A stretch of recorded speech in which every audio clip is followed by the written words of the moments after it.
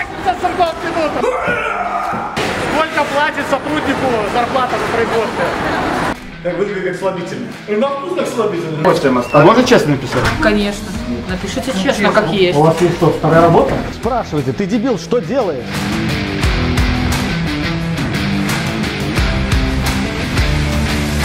О, прикольно. Предсказание написано. Как в имя присосался.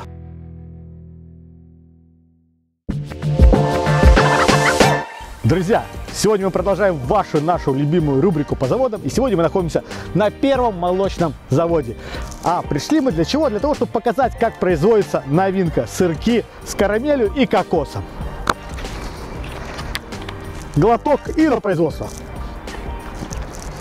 Друзья, сегодня находимся на первом молочном и кое-что вам рассказываю. Поехали. Здравствуйте. А, Прямо перед нами мы видим с вами постыгли елки молока 4, куда заезжает наше молоко с наших хозяйств, с нашей сырьевой зоны. А, Прибывает на заводе, проводятся все необходимые анализы. И после того, как наша лаборатория дала добро, мы поднимаем его на производство. А, Наша головная площадка э, специализируется на выпуске цельномолочной продукции, то есть это классические виды э, продуктов, такие как молоко, кефир, сметана. Ну и, конечно же, наша фишка, наш любимый продукт – это сырки глазированные. Собственно, для этого мы Да. сюда и пришли. Мы сегодня посмотрим, как получаются глазированные сырки, а конкретно новинка. Поэтому начинаем с молока, а дальше поехали.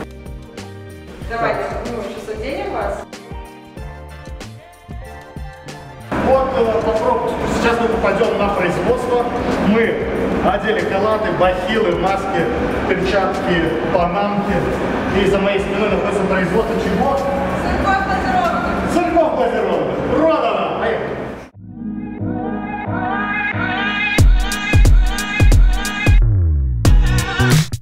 А сейчас мы попали в цех, где получается творог. Ну, собственно, наша начинка для сырка. Как он получается? Берется молоко, дальше помещается в специальные мешки, а дальше вот эти самые мешки должны погрузиться в пресс, где-нибудь выдавливаться, полностью обезвоживаться. И получится, собственно, наш творог.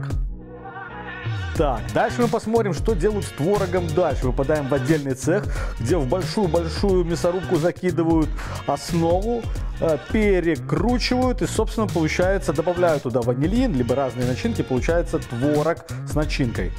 Дальше мы попадаем в цех, где сырки глазируются. Собственно, наша Творожная масса попадает в большую установку, откуда выдавливаются аккуратненькие сырочки. Дальше эти сырочки по конвейеру проезжают и попадают в участок, где покрываются смачным горячим шоколадом. Собственно, вы видите, когда все происходит, дальше не выходят, остужаются до комнатной температуры.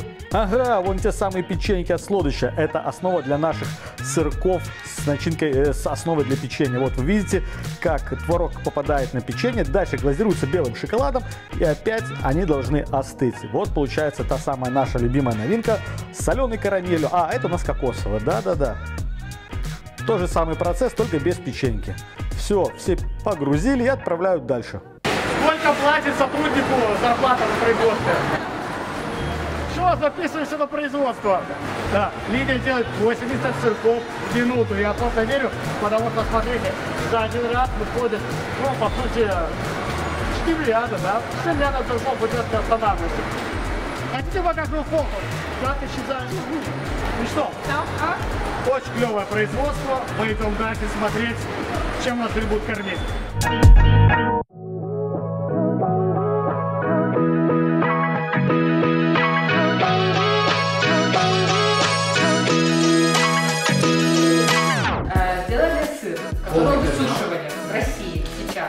Это не такой сублими- сублимированный.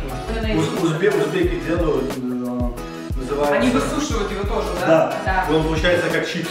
Да, вот точно Ну-ка такой. попробуем. Знаете, на вкус? Как будто, блядь, забрал у хомяка эту штуку для зубов, то, что он точит, грызет такой, зашмел. Примерно то же самое. Ну, казалось, сыр, со вкусом сыра. А, Понравился горгонзола? Очень понравилось. Я вот Классный, нет, да. я не скажу. Он- Я не скажу. Важна жирность и мягкая сладость. И мягкая сладость Это очень нарочи. Кто сделал? Это фита. Это фита в фритюре. Это Панировка фета или фета? А, У нас вообще фиту. Ну, салат понятно. А что не фите? Очень прикольно, ну чтобы не производили. Шучу. Вкусно. Ну просто панировка лишняя. Очень было бы вкусно в салат лучше. И по цене нормально, да, будет? Да, да. Он, конечно, он будет не А им, к сожалению, по 713 нельзя. Сыр прикольный. На самом деле, белорусские сыры, особенно если брать раклет, всем известный, да, области, белорусские сыры отличные. Просто мы не то, что мы не ценим, то, что не да, какое творожное, раклет, мороженое, мороженое, кому что. Ну, они вообще флагманы по производству. Да, белорусские сыры действительно они недооценены. Сейчас, но была проблема в чем? Наши сыры на наш рынок не попадали. Сейчас 50% экспорт, да, по-моему, должны удовлетворять белорусский рынок. И сейчас многие поняли, что есть вкусный сыр. Оказывается. Запоминайте, охренетительный сыр с плесенью. Сразу могу дать рецепт. Очень вкусно с мидиями, очень вкусно в сэндвиче, в пасту. Как обычно, с дизайном.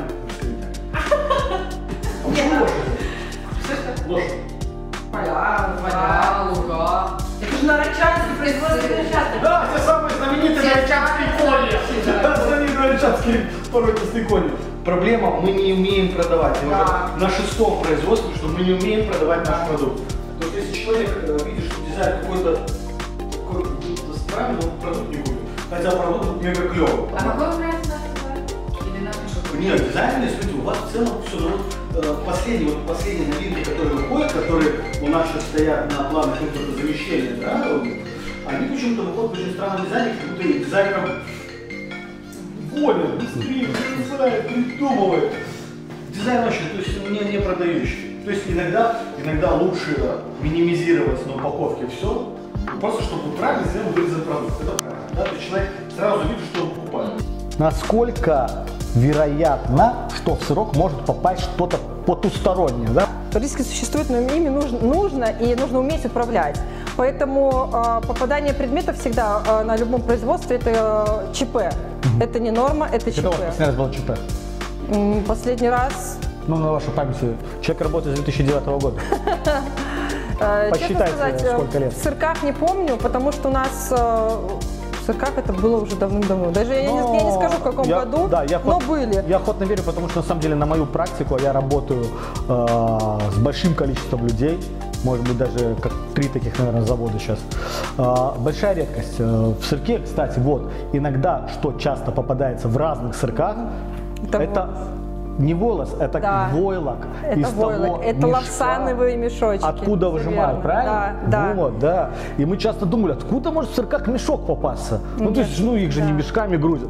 И сегодня мы увидели, что, оказывается, творог э, выжимается, выдавливается Да, это специальные лавсановые мешочки, и зачастую, если происходит попадание, то э, люди думают, что это волос, хотя Да, это да. лавсановая нить.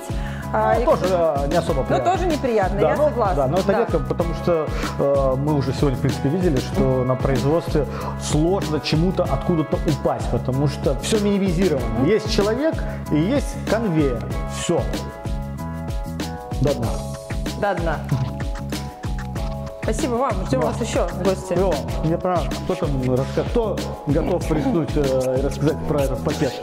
Я имею в виду, что он загрязняет э, окружающую среду, как и любой другой. Пак? Да. Пюрпак Да. разлагается. Вот, Смотрите, ну, что- вот я вам это, это бумага. Сколько лет? Это бумага, это картон. Он внутри покрыт. Нет. Давай разрежем. Стакан, Давайте разрежем, стакан. Да. Можно прямо разрезать. Будем молоко и разрежем. Наливаем. Как в выме присосался. Давай дальше. Спрашивайте, ты дебил, что делаешь? Сейчас мы раскроем и посмотрим, что внутри коробки. Говорят, что это, это, это- говорят, что эта коробка э, разлагается сама. Картон, конечно. Конечно, картон разлагается за 100 миллионов лет, да? Нет. Нож в студию.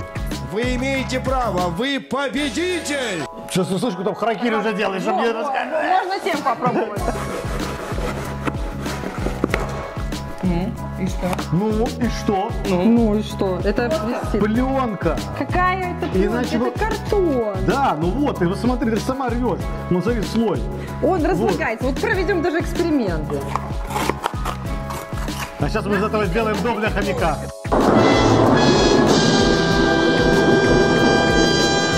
Ну смотри, вот, видишь, вот бумага, а вот ты слой. Дай зажигалку. Это не день рождения. Ладно, ну горит как картон, да? Картон, ну. Ну ладно, есть. Такого контента у вас еще не было, мне кажется, не зажигаем. Ну ладно, может быть.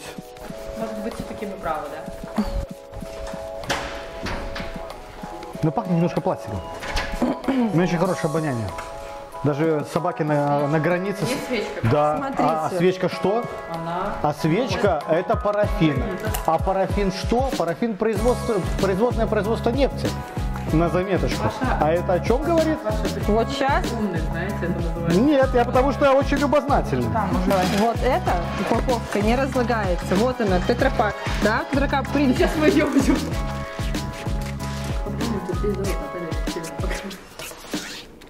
Тут 7 слоев, и в том числе полиэтиленовый и алюминиевый. Смотри, горит даже с молоком. Ну, вот видите, вот здесь покрытие. Вот это. Ощущение, что здесь нет пленки. Так нету там пленки, ну, это картон, я же говорю. Ну, пленки. Давайте возьмем, ну, это картон, он даже запах имеет такой, ну, вот, если взять саму упаковку, Ладно, реабилитированы.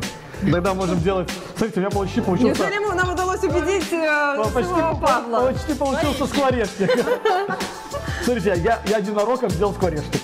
Так что Прям пю- пакет? пюрпак недооценен. Ну ладно, это хорошо. экологически Еще раз, что это? упаковки. Пюрпак. Это картон. По сути, это картонная упаковка. Пюрпак, что-то на китайском. Ну, пюр, пюр чистый, чистый вид упаковки, да? А, А это она не требует э, какого-то, она разлагается как биоразлагаемо, поэтому... То есть, короче, если птицы поели, они потом могут улететь, оно разложится само, да, Ну, со временем, конечно, как и любой картон, как любая картонная упаковка. А, Она не оставляет после себя этот след. А, Тетрапаковская упаковка, да, здесь э, сложнее. А сколько хранится? Здесь год. А, ну оно пастеризованное, конечно. Нет, не только за счет чего. Здесь стерилизованное молоко, да, да. Асептический розлив, да. Но здесь в этой упаковке 7 слоев, а, в том числе полиэтиленовый и алюминиевый. И он для чего? Для того, чтобы не попадал свет и воздух. Вот в эту упаковку воздух попадает, поэтому здесь маленькие сроки хранения. 15 суток э, хранения молока в бумажной био-эко-клетке для птиц. Давай построим город для птиц. Видели? Прикольно. Предсказания написаны. Сегодня это молочному первому не дадут зарплату. Сегодня нет, нам десятого выдают. Там второй текст прям мелким шрифтом, и десятого тоже.